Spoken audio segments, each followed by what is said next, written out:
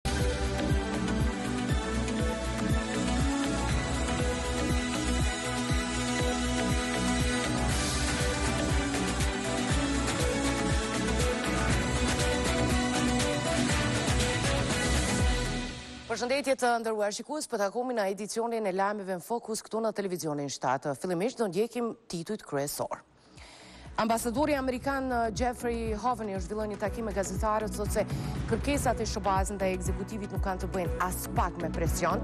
Komenton edhe zgjedhjet në veri të cilat kërkon që të mbahen sa më parë në mënyrë që në mënyrën që e vendos Kosova. Si pasojë e ankesave të mëdha që kanë Punëtorët e KEK-ut kanë filluar të lëshojnë vendin e punës për t'u marrë me diçka tjetër.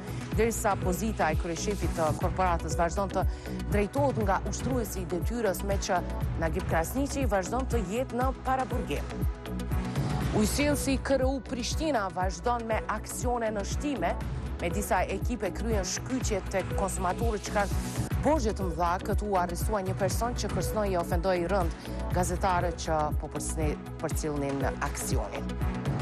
Pak ditë pasi vizita e tij në Maqedoni të Veriut u cilësua si përçarëse e shqiptarëve, kryeministri Albin Kurti e çon Liburn Aliun të takohet me Ali Ahmetin, të dy patën fokusin tek projekti për rrugën Prizren Tetovë. Instituti GAP publikon raportin Fushë Kosova në mesin e komunave më jo transparente, mungesë të llogaridhënies. Zyrtarë të saj shfaqen edhe Këtë të mërkurë më keq se kjo qëndron vetëm ajo e banuar me shumicë serbe Graçanica. Realizoni ëndrrën tuaj të shtëpisë në mal. Blej shtëpi malore për 5 vite me këste vjetore pa interes. Qëndresa Resort, Artanë, Novobërdë. Siç edhe ishte paralajmëruar, ka vijuar aksioni për shkyçjen e borxhlinjve nga ujësjellësi. Ekipet që kryejnë ato u drejtuan të mërkurën tek borxhlinjtë më të mëdhenj në komunën e Shtimes. E derisa inspektorët po kryenin kontrollet, pronari i një biznesi që më pas u arrestua, gjeti kohë të ofendojë e kërcënojë mediat e pranishme. Tashmë si çdo javë, ekipi i Kompanisë Rajonale të Ujësjellësit Prishtina, bashkë me policinë dolën në terren. Kësaj radhe aksionin do e zhvillonin në komunën e Shtimes. Inspektorët fillimisht shkuan tek një biznes për të bërë shkyçjen e ujit të pijshëm, pasi që të njëjtit nuk paguan borxhin ndaj ujësjellësit, ani pse ishin paralajmëruar disa herë. Derisa bëhej kontrollimi nga inspektorët, prezenca e mediave nuk i pëlqeu njërit prej pronarëve të këtij biznesi.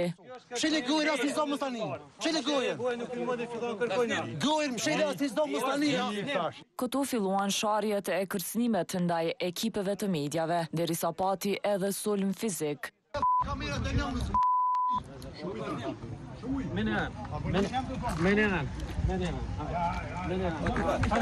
Prandaj, domosdoshëm ishte edhe intervenimi i zyrtarëve policorë. VPK përfundoi në pranga. E kjo nuk ndaloi që ekipi i ujësjellësit të bëjnë shkyçjen e ujit të pijshëm. Inspektorët vërejtën edhe një kyçje ilegale të dyshimtë në autolarjen e po të njëjtit biznes, ku edhe këtu bënë shkyçjen. Aksioni vazhdoi edhe në një biznes tjetër të Komunës së Shtimes. Me keqpërdorim të ujit të pijshëm, të njëjtin veprim kishte bërë edhe pronari i këtij biznesi.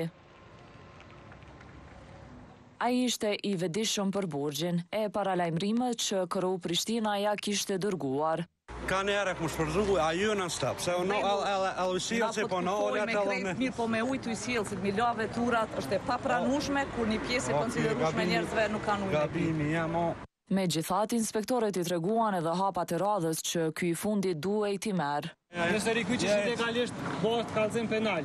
Këtë domethënë të dëmton pronën e ujësjellësit. Krejt këto riprogramimin, pjesën e borxhit, njësitë shtimes. Aksioni vazhdoi në të njëjtën komunë e në një biznes tjetër të radhës. Edhe këtu u bë shkyçja e ujit të pijshëm. Për të gjitha këto shkyçje të realizuara gjatë së mërkurës, folën nga KRU Prishtina.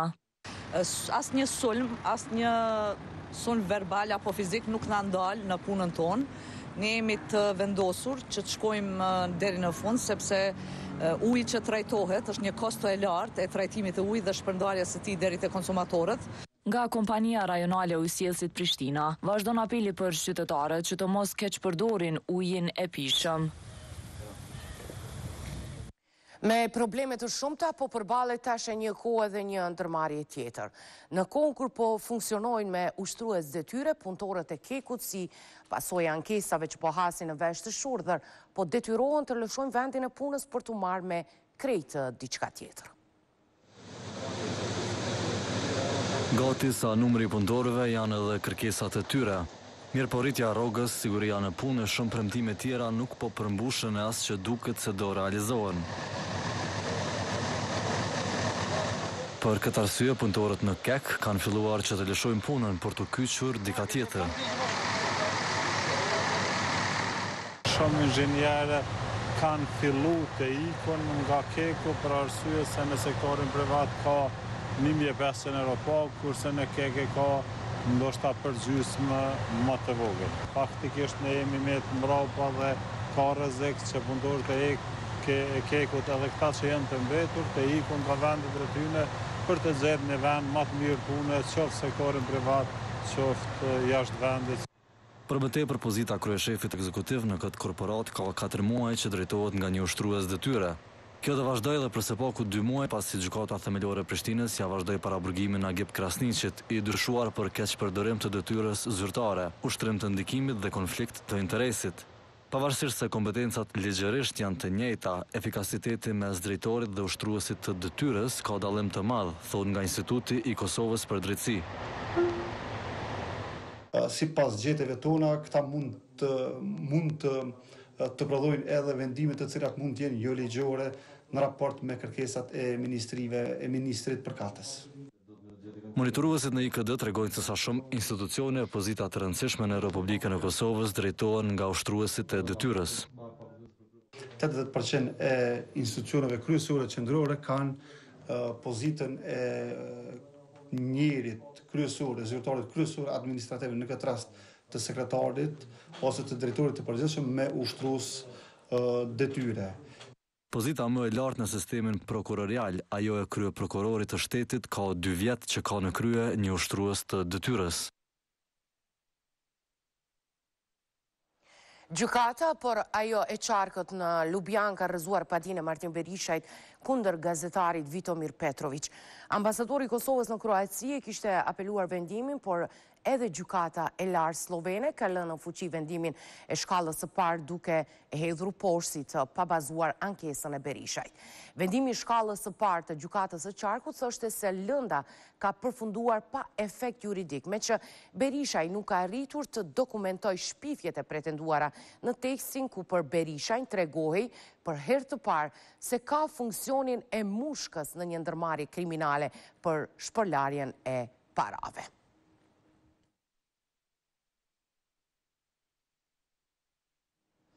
Ndërsa gjykata e prokuroria në vend po merren me disa lëshime të cilat nuk dihen nëse u bënë qëllimisht apo jo nga komuna e Graçanicës. Ky institucion lokal nuk paraqiti askund, hiç më pak se afro një milion e gjysmë euro të hyra. Rritja e të hyrave zakonisht cilësohet si sukses nga komunat, por një zhvillim të tillë jo që s'e promovoi, por edhe e fshehu Komuna e Graçanicës.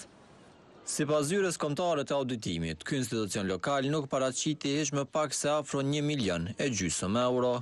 Komuna kishte prezantuar llogari të arkëtueshme nga taksat për ushtrimin e veprimtarisë vetëm të vitit dy mijë e njëzet e dy në vlerë dyqind e njëzet e dy mijë e tetëqind e njëzet euro, duke mos i prezantuar të përmblidhura dhe vlerat e paarkëtuara nga vitet e mëhershme, të cilat në shumë totale, përfshirë edhe vitin dy mijë e njëzet e dy, do duhej të raportoheshin një milion e gjashtëqind e katërdhjetë e një mijë e gjashtëqind e tridhjetë e pesë euro.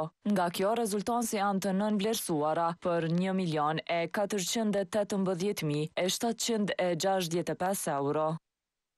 Këto dhe gabime të tjera, për të cilat T7 raportoi një ditë më parë, televizioni mëson se janë duke u marrë Prokuroria dhe Gjykata, ani pse nuk e konfirmuan zyrtarisht.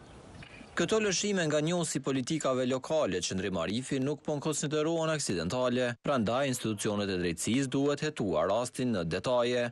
Komunat, institucionet kanë, të them, një infrastrukturë teknologjike mjaft të avancuar lidhur me raportet financiare, që është vështirë, pra, të gabohet në aspekt të këtyre numrave. Pra, është vështirë të konkludojmë që kemi të bëjmë me gabim teknik, ndoshta është gabim i qëllimshëm këtë Duhet ta vërtetojë prokuria. Arifi tregon se edhe më parë ka pasur raste të ngjashme, por që s'u ekzekutuan dënime. Ndërsa nga prokuria thjesht e merr vetëm njoftim që i kemi pranuar këto raporte dhe asnjëherë nuk njoftohet as për rezultatin, as hetimet e prokurisë, çfarë epilogu kanë. Ndërkohë nga Instituti i Kosovës për Drejtësi tregojnë se sa mund të zgjasin këto hetime. Na u paraqitën dy lloj situata se si duhet të veprohet.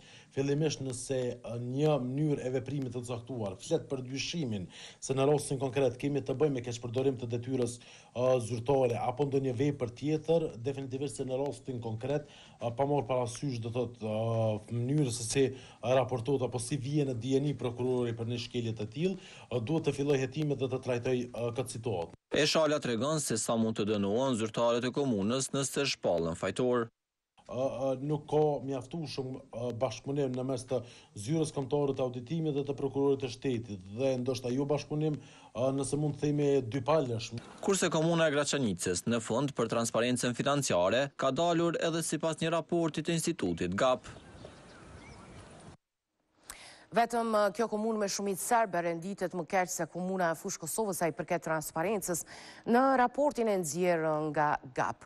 Derisa në krye të tabelës për transparencë buxhetore renditen komunat e udhëhequra nga PDK.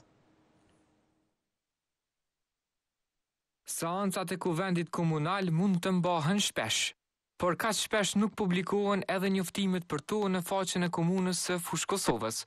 Edhe publikimi i konkurseve për punësim lë shumë për të dëshiruar. Krejt këto veprime të këtij institucioni ndikuan që të renditet në mesin e komunave më jo transparente në Kosovë, sipas raportit të Institutit GAP. Mungesë të llogaridhënies zyrtarët e kësaj komune shfaqën edhe këtë të mërkurë. Në raportin e Institutit GAP, Fushë-Kosova radhitet në mesin e komunave më jo transparente. T shtatë ka tentuar të marrë një përgjigje nga komuna për këtë çështje, mirëpo edhe me televizionin u treguan jo transparent duke mos dashur të prononcohen para kamerës. Kritika për mungesë të transparencës kanë edhe nga opozita. Habib Mekulli nga Lëvizja Vetëvendosje tregon edhe rastet kur ekzekutivi është dënuar për mungesë të llogaridhënies. Përpos renditjes, mund të themi se ne si asamblistë kemi insistu disa herë për me pas qasje në disa dokumente zyrtare që na kanë interesu, mirëpo vetëm këtë vit janë dikund pesë deri në gjashtë dënime që kanë ardhur prej Agjencionit për Privatësisë për shkak të mostransparencës ose mosdhënies së atyne dokumenteve. Në raportin e transparencës buxhetore më lart se sa Fushë-Kosova qëndron Graçanica, komunë kjo e banuar me shumicë serbe. Megjithatë, kështu nuk mund të thuhet edhe për Parteshin, Shtërpcën, Kllokotin e Novobërdën, të cilat rangohen si të fundit në listë. Nga Instituti GAP e kanë një shpjegim për këtë. Në vazhdimësi kem pasë problem me komunat veçmas që janë në pjesën veriore të Kosovës, të cilat nuk i kanë shumicën e kohës as webfaqet e tyre funksionale dhe nuk publikojnë asnjë nëpër këto webfaqe, ndërsa themi tek komuna tjera sikurse tek Graçanica publikohen dokumente, mirëpo nuk është që arrijnë t'i mbledhin pikët maksimale në indeks. Pavarësisht kësaj, Hasaj thekson se transparenca buxhetore e komunave këtë vit ishte në nivelin më të lartë që nga publikimi i parë i indeksit. Vlerësimi i fundit, të cilin e kemi publiku dje, tregon që ka një përmirësim ose një progres në mesatare nga ana e komunave në rritjen e transparencës buxhetore, ku nga njëqind pikë të indeksit janë mbledhë rreth gjashtëdhjetë e dy pikë tetë pikë dhe kemi shumë më shumë komuna që po publikojnë dokumente buxhetore dhe po mbajnë dëgjime buxhetore me qytetarë. Në raportin e GAP-it si komunat më transparente listohen Drenasi, Lipjani, Mitrovica e Jugut, Prizreni, Rahoveci, Skenderaj dhe Klina. Mbajtja e zgjedhjeve në komunat veriore të banuara me shumicë serbe po kërkohet të ndodhë sa më shpejt nga SHBA-ja. Ambasadori amerikan Jeff Hovenier në një takim që pati me gazetarët tha se mënyrën se si të zhvillohen ato e vendos Kosova. Maqedonia e Veriut, sa ma afër Kosovës, Shqipërisë dhe Bullgarisë, e sa ma larg Serbisë. Këto deklarata të kryeministrit Albin Kurti gjatë vizitës së tij në Maqedoninë e Veriut, duket se ia morën vëmendjen edhe ambasadorit amerikan në Kosovë Jeff Hovenier. Në një takim me gazetarët gjatë së mërkurës, ai e pa të nevojshme që të shprehë edhe një herë kundërshtinë amerikane ndaj idesë së ashtuquajtur Shqipëria e Madhe. Kam parë që në komentet publike ka brengosje për idenë e Shqipërisë së Madhe, si diçka që është diskutuar në kontekst të kësaj vizite. Dua ta ritheksoj pozicionin e Shteteve të Bashkuara të Amerikës për këtë çështje. Është shumë e rëndësi dhe dua ta lexoj fjalë për fjalë qëndrimin e qeverisë amerikane për këtë, që ta bëj të qartë se Shtetet e Bashkuara të Amerikës nuk e mbështesin Shqipërinë e Madhe dhe nuk e mbështesim as Serbinë e Madhe. Përfaqësuesi i SHBA-së në Kosovë komentoi edhe zgjedhjet në veri duke ritheksuar se amerikanët kërkojnë ecje përpara drejt shpalljes së tyre. Ne duam të shmangim trazira, kërcënime të dhunës dhe gjëra të tjera të cilat pengojnë aftësinë tonë për të punuar me palët, për t'u fokusuar në objektivat strategjike, që është zbatimi i plotë i Marrëveshjes së Ohrit nga të dyja palët, prandaj se si do të mbahen zgjedhjet në veri është pyetje e brendshme për Kosovën, Se a bëhet kjo përmes dorëheqjes së kryetarëve të komunave ose nëse bëhet përmes një procesi ku votuesit votojnë për t'i larguar kryetarët aktualë, peticioni, ne jemi të interesuar vetëm të shohim procesin që po ecë përpara. E zhvillimet e fundit në veri dhe sjellja e institucioneve kosovare sipas diplomatit amerikan kanë miksuar paksa raportet SHBA-Kosovë.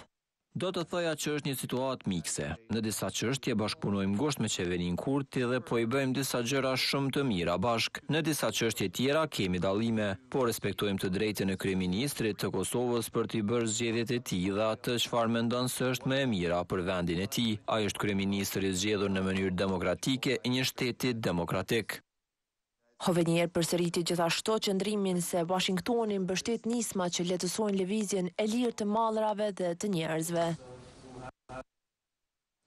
E ambasadori amerikan po pajtohet me çdo mënyrë që ekzekutivi vendos për t'i zhvilluar zgjedhjet në veri, por jo dhe kryetari i komunës së Zveçanit, Ilir Peci. Ai është shprehur kundër nismës së Qeverisë së Kosovës për shkarkimin e kryetarëve të komunave përmes peticionit. Në krye të komunës së Zveçanit është tash e katër muaj, e sa do të vazhdojë ta udhëheqë atë kryetari Ilir Peci edhe në vazhdim, është ende diskutabile. Kjo pasi Qeveria e Kosovës ka marrë një nismë për shkarkimin e tij e të kryetarëve nëpër komuna tjera veriore, gjë që Pecit nuk po i pëlqen. Kjo me peticion mua aspak nuk është tu më pëlqye për arsye pse me ja dhon dikujt tjetër ni mundësi me të shkarkue ty ku na mundëm si kryetar komune dhe si kryeministër i Republikës së Kosovës me arrit ni marrëveshje për të mirë e qytetarëve dhe të Punët komunale po i kryen nga një zyrë alternative në fshatin Kelmend, e për to Peci thotë se po i shkojnë mirë në disa aspekte e në disa jo. Edhe unë si kryetar komune jemi tu munua në drejtimin do të thotë shërbim gjatë qytetarëve të komunës së Zveçanit. Mirëpo problemi kyç është se ende nuk na ka lejue qasja në buxhet. Edhe do të thotë po kemi shumë probleme në atë drejtim. Edhe takimet me qytetarët serbë të komunës që udhëheq nuk po i mungojnë. Është një numër shumë i madh i qytetarëve do të thotë Të gjithë qytetarët pa dallim janë të interesuar me bashkëpunue, janë të interesuar për konkurse kur hapen me apliku si ata serbë si ata shqiptarët, do të thotë deri tani mjaft jam i kënaqur me sjelljen e qytetarëve të komunës Zveçanit. Gjithë vullënunet me kanë ni pakicë që kundërshton. Peci foli edhe për shkarkimin e nënkryetares së kësaj komune, Sllagjana Pantoviq. Asnjëherë prej ditën e parë kur e ka do të thotë e ka nënshkrue vendimin nuk m'u ka lajmërue në punë. Sa herë e kemi thirrë asnjëherë s'u lajmërue. Peci është kryekomunari i dytë që së bashku me atë të Zubin Potokut, Izmir Zeqiri, kryejnë detyra nga ambientet alternative, ndërkaq Lulzim Hetemi, që udhëheq Leposaviqin po qëndron brenda në komunë më shumë se dy muaj. E, për të marrë mendime se si të veprohet me situatën në veri dhe jo vetëm, kryeministri Kurti mund t'i pyes një numër të madh këshilltarësh që ka të punësuar. Numri i tyre që po konsiderohet rekord, po kritikohet nga opozita e shoqëria civile. Jo nga një kuptimi i ndonjë pretencioziteti intelektual tim, mirëpo, ndoshta pesë këshilltarë më mjaftojnë, tridhjetë e pesë janë si mos të jetë asnjë. Megjithatë, kaq duket se nuk ishin mjaftueshëm për shefin e qeverisë. Jo pesë, por njëzet e pesë këshilltarë numëron Albin Kurti në kabinetin e tij, e duke përfshirë zyrtarët ekzekutivë, administrativë e asistentët, numri i shkon gjithsejtë në tridhjetë e tetë. Meqë vetë Kurti, sa ishte në opozitë kritikonte ashpër kryeministrat e kohës për numrin e madh të këshilltarëve, tani kjo po i kthehet. Kjo e reflekton atë gjuhën dhe karakterin e tij edhe abuzues, një edhe e dyta mashtrues, atë retorikën që e kishte si opozitar. Tani ky numër i këshilltarëve që është pesëfishi i asaj çfarë atëherë deklaronte se janë të mjaftueshëm, shtrohet çështja përse i duhen. Nga Lidhja Demokratike e Kosovës po e cilësojnë shumë të lartë numrin e këshilltarëve të Kurtit, e madje thonë se nuk po shohin as rezultate në punën e tyre. Këshilltarët jashtëzakonisht numër i lartë, po sikur ta këshillonin mirë, sigurisht se kish qeverisë edhe ma mirë, po përtej kësaj edhe ministritë i kanë këshilltarë, ka shtatë tetë këshilltarë, përtej kësaj kanë edhe ka tre katër zavendësministra, kështu që është një dëm i buxhetit të Republikës së Kosovës. E ata që e monitorojnë punën e ekzekutivit thonë se për nga emërimet e këshilltarëve, kjo qeveri është rekordmene. Patjetër numër shumë i madh që i kushton kosto buxhetit të Kosovës, pra pasi që siç e dimë këshilltarët politikë në Kosovë janë janë kategoria më e favorizuar me ligjin e ri për paga. Sa i përket emërimit të këshilltarëve politikë, mund të themi që kjo është numri më i madh që e ka pas ndonjëherë ndonjë qeveri. Nga qeveria thonë se nuk vlen diçka e tillë. Kryeministri Kurti nuk ka numër më të lartë të këshilltarëve se ç'kishte ish-kryeministri Haradinaj. Numri total i këshilltarëve të emëruar, përfshirë ata të jashtëm, të ish-kryeministrit Haradinaj sipas të dhënave të muajit janar dy mijë e njëzet ishte tridhjetë e tre. Sipas raportimeve në media, gjithë kjo ekipë e Kurtit, vetëm për një muaj shtetit i kushton rreth njëqind mijë euro.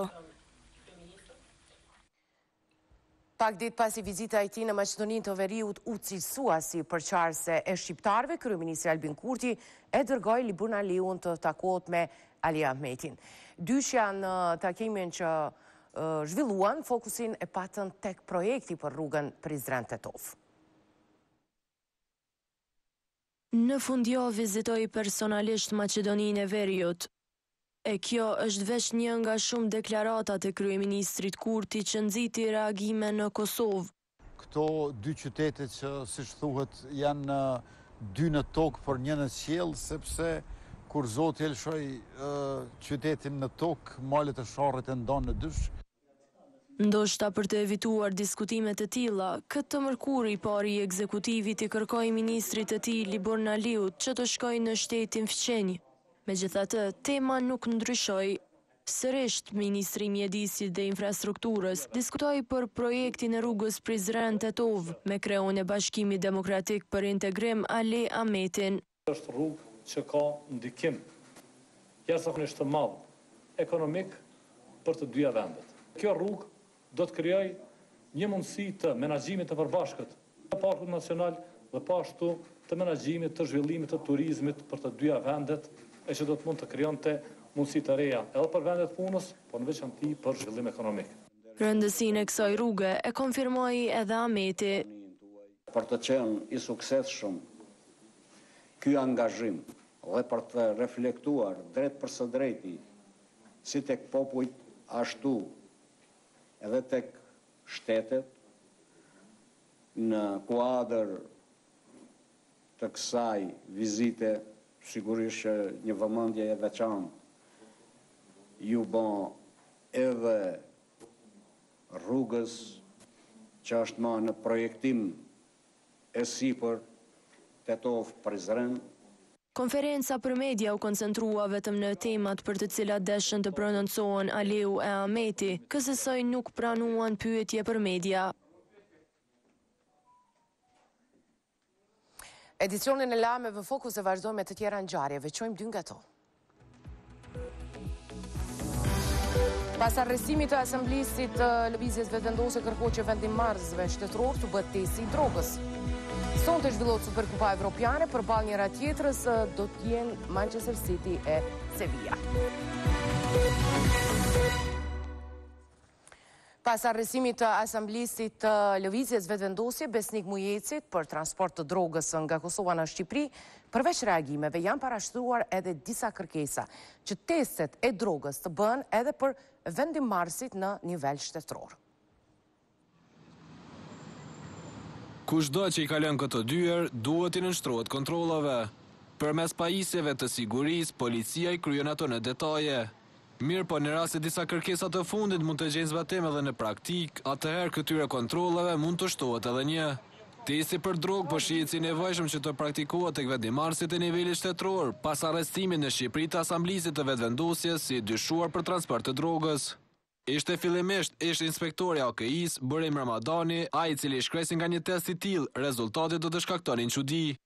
E më pas një kërkesë më specifike në këtë drejtim kishte edhe deputeti i PDK-së, Mërgim Lushtaku. Këtij testi ka kërkuar që t'i nënshtrohen Kurti, Haxhiu e Sveçla. Nuk dihet akoma nëse kjo kërkesë e tij do të gjejë përgjigje, mirëpo njohësit e rrethanave të sigurisë në vend besojnë se këto teste do të mund të zbatoheshin në Kosovë. Meqë situata ka rëndu deri në këtë vend, unë kujtoj që është shumë e nevojshme që neve të kemi një testim të gjithë zyrtarëve të lartë për çështjen e përdorimit eventualisht të drogave. Pas gjithë ngjarjes, një pikëpyetje tjetër që shtrohej në opinionin publik ishte edhe vendi se ku është prodhuar droga e cila transportohej përtej kufirit.